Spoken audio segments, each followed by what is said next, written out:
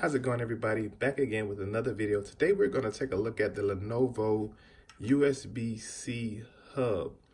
And typically when I look at these type of devices, I look for the multi functionality of it, which you can tell this one has just by looking at. As you can see, we have micro SD, we have regular SD, and then we have on this side, we have two USB ports.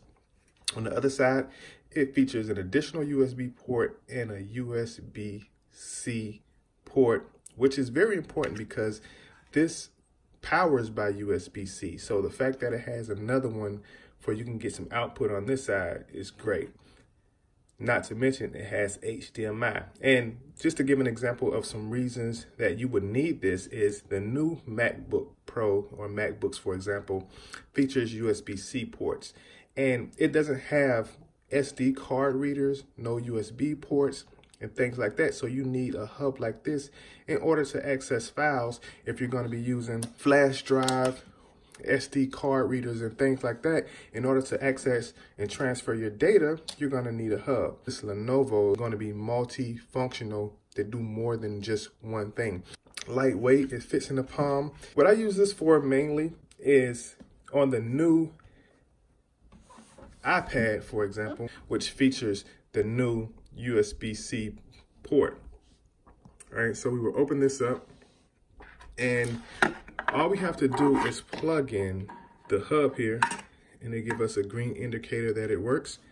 All right, so to access our files, now what I did notice that if you try to access files on the iPad with a SanDisk or flash drive, it doesn't access it doesn't access any information.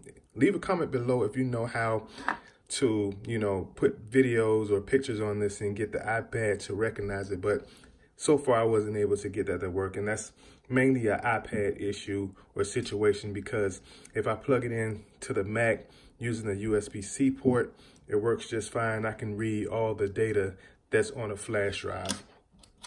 As for card readers, all you have to do is plug this in and the iPad recognizes that for sure. So this is a good way to get your data from a flash drive to your iPad.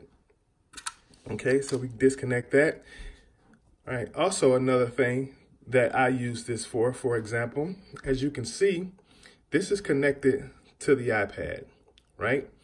And we have a green indicator there. If I wanted to, for example, I can plug this directly into a USB-C port, plug this into my iPhone, and as you can see, it's charging.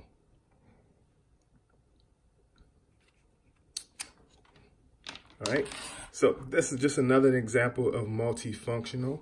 Also, what we can do is we can take this iPad here and we can plug it into HDMI. So if you had a bigger screen that you wanted to mirror your iPad on, you can certainly use HDMI port to support that functionality of it. Overall, I said if you were looking for a, good hub to access your data with these devices, such as like a micro SD or SD card or USB, or even HDMI or USB-C, this is a good one. Amazon, you may be able to find it a little bit more reasonable. And of course, they have other devices that's similar that are cheaper and may do the same thing, but the overall functionality, multifunctional purpose, definitely go with the Lenovo, which gives you several different functionalities or ways that you can use it. Hope this video was helpful. Like, subscribe, share, and until next time, we'll see you guys in the next video.